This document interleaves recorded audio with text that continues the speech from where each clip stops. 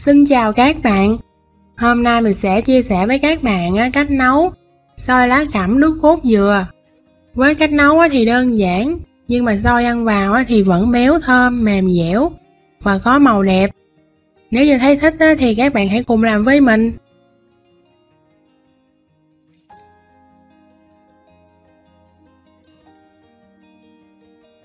Để làm được món này thì mình đã chuẩn bị là 800g nếp và đây là nếp sáp nha các bạn.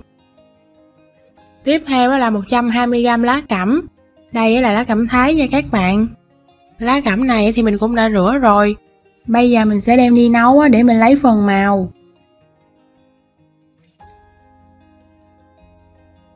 Với 120g lá cẩm thì mình sẽ nấu cùng là 1 lít 2 nước.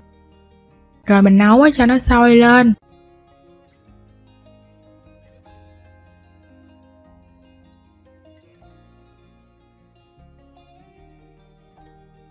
Sau khi mà nước đã sôi lên rồi, thì mình sẽ hạ xuống mức lửa nhỏ nhất. Rồi mình cho lá cẩm vào để mình nấu. Mình nấu với mức lửa nhỏ thì nó sẽ cho ra cái màu tím đỏ rất là đẹp luôn.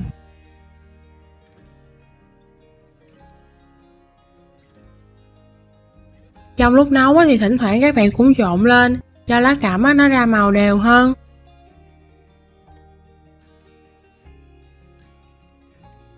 Đây là sau khi mình nấu được 20 phút.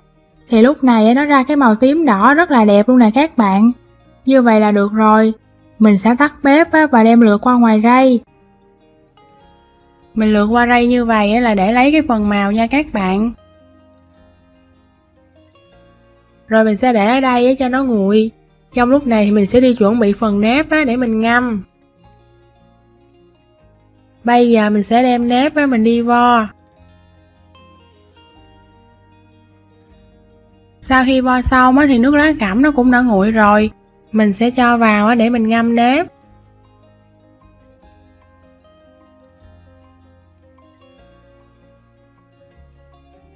Rồi mình sẽ thêm vào là 100ml nước cốt dừa, để nó được béo hơn.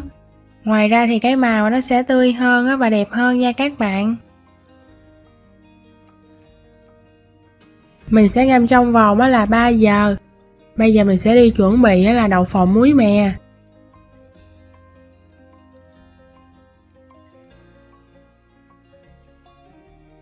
Mình cho vào tô là 80g đậu phộng rang, mình đã giả nhỏ ra rồi.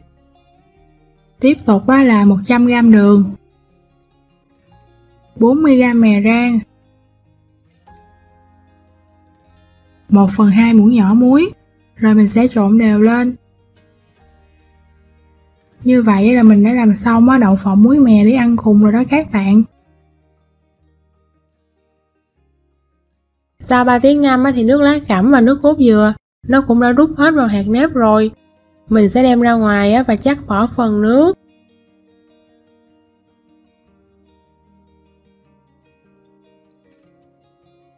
Sau khi chắc bỏ xong thì mình sẽ không cần phải vo lại. Mình chỉ cần để đây cho nó ráo nước để một lát nữa khi mà nấu sôi thì nó sẽ không bị nhão. Với 800g nếp thì mình sẽ cho vào là 300ml nước cốt dừa. 1 phần 2 muỗng nhỏ muối cho nó đậm đà hơn.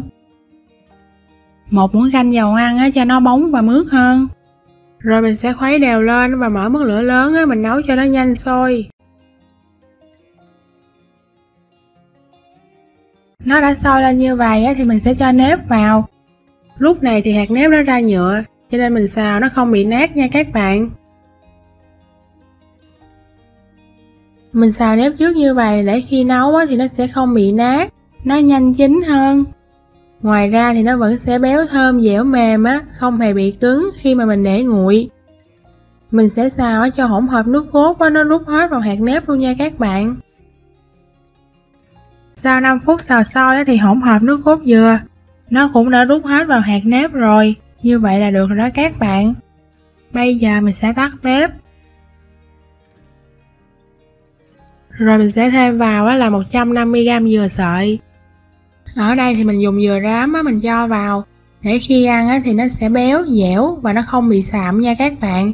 Nếu như không cho vào như vậy thì các bạn có thể đợi một lát nữa khi mà làm xong thì mình sẽ trộn vào nhưng mà mình trộn trước như vậy á, thì mình ăn nó sẽ ngon hơn. Một lát nữa thì mình sẽ đem đi hấp chín á, cho nên nó vừa để lâu á, thì nó cũng không bị hư đâu nha các bạn.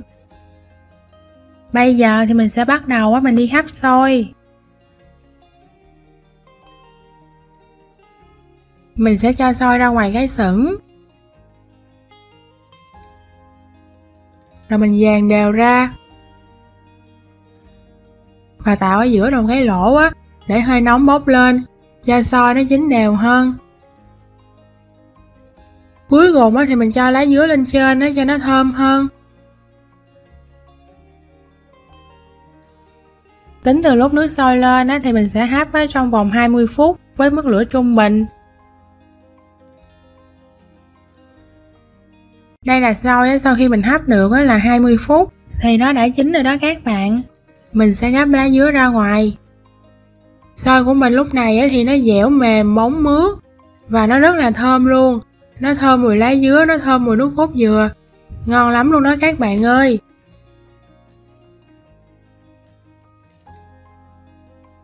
Bây giờ mình sẽ xới xôi lên.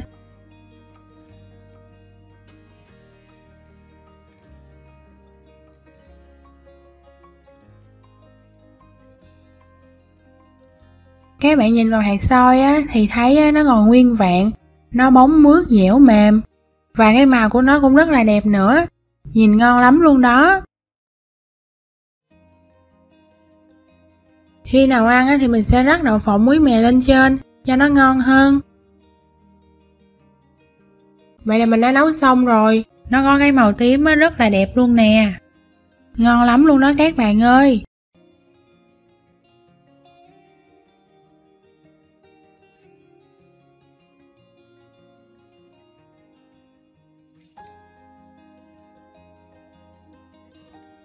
Mình mời các bạn ăn thử cùng với mình. Mình ăn vào thì hạt xôi nó dẻo mềm, nó béo vì nước cốt dừa, cùng với đó là vị mặn mặn ngọt ngọt của đậu phộng muối mè. Những cái cọng dừa sợi thì nó dẻo giòn béo béo, ăn rất là ngon luôn. Ngoài ra thì nó cũng rất là thơm á, cái mùi nước cốt dừa, cái mùi lá dứa nữa đó các bạn. Vậy là mình đã nấu xong rồi. Nếu như xem và thấy thích á, thì các bạn hãy làm thử theo công thức mình đã chia sẻ để có thể chiêu đãi cho mọi người trong gia đình. Vậy là video của mình đến đây cũng đã kết thúc rồi. Mình cảm ơn các bạn đã theo dõi hết video của mình nha. Và nếu hay thì hãy cho mình một lượt like, một lượt đăng ký và ấn vào nút chuông để có thể nhận thông báo về những video sau của mình sớm nhất. Còn bây giờ thì mình xin chào và hẹn lại các bạn ở những video lần sau.